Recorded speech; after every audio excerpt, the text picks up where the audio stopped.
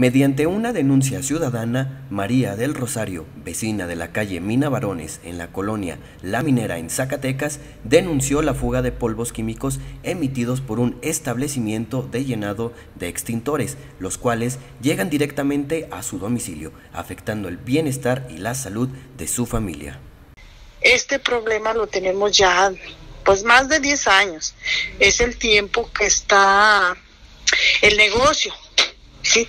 Que pusieron el, el negocio.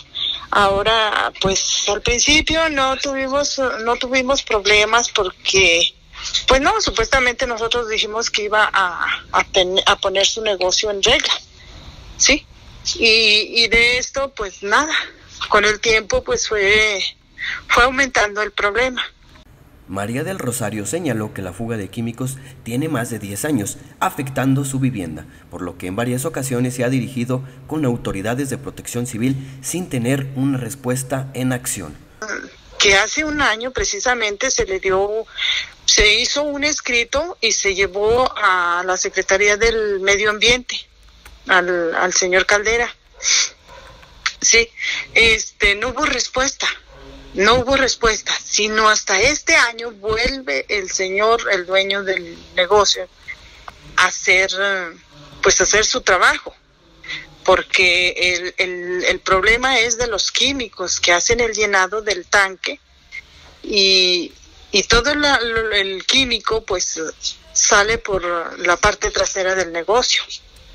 Sí, este, y de allí pues es el problema porque todo el, químico viene a dar aquí al domicilio afectado, que es el, el, de nosotros.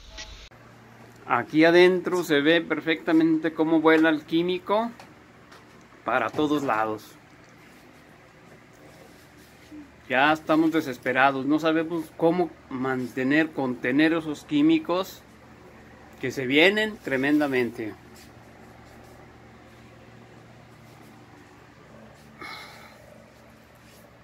Aquí está la cocina. Esta es la cocina. Y esta es la intensidad de cómo todos los días se viene el polvo químico. Pues ya estamos desesperados. No podemos desayunar. Son las 10, 15 de la mañana. Y el químico a todo lo que da. Eh, de esto, pues nosotros tuvimos comunicación con ellos, con el señor Pascual. Sí, este, hace, hace un mes que fue, pues el, la descarga esa fuerte que sí me afectó, mmm, que me afectó el, el, el químico. Eh, tenía yo ropa tendida y, y se expandió, se vino hasta, hasta adentro, hasta las habitaciones. Ese, ese día se encontraban dos, dos de mis hijos y nos, este, nos estábamos ahogando. Mencionó que también se ha buscado el diálogo con el dueño del establecimiento, sin embargo, no se ha obtenido acciones que permitan dispersar los químicos afuera de su vivienda, por lo que hace un llamado a las autoridades correspondientes para atender la situación lo más pronto posible.